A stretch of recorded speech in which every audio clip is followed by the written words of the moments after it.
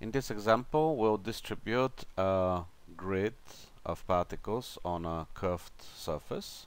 Here is a simple mesh that I have created.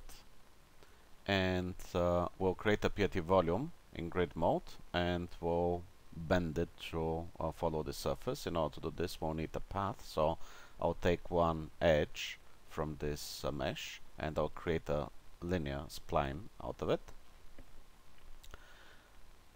At this point we can uh, select this spline and center it vertically through the mesh so it passes exactly through the middle along the z-axis.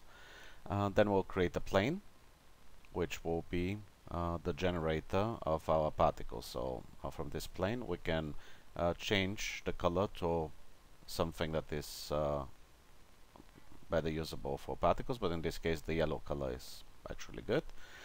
Uh, and then we'll create a PRT volume out of this. We'll uncheck the jitter position option and uh, we can enable the shell and set it to a very small value, a thickness of 0.1, so it creates only one level. And then we'll uncheck the viewport spacing, so we are using only one type of spacing. We use a path deform to move this uh, in space to follow the curvature of the surface so uh, we'll set it to 50% move to path along the y-axis and now we can select the plane which is currently hidden and set the width uh, to 70 which is a little bit more than the height of the mesh and then the length of the plane uh, will be slightly more than the total length of the spline. At this point we have the general distribution of the particles, we just have to remove the ones that are not of a mesh. So we use a world space modifier version of the magma and a world space modifier version of the delete operator. Now we can create a selection channel output. We use a nearest point. We need geometry input and position, which will be in world space.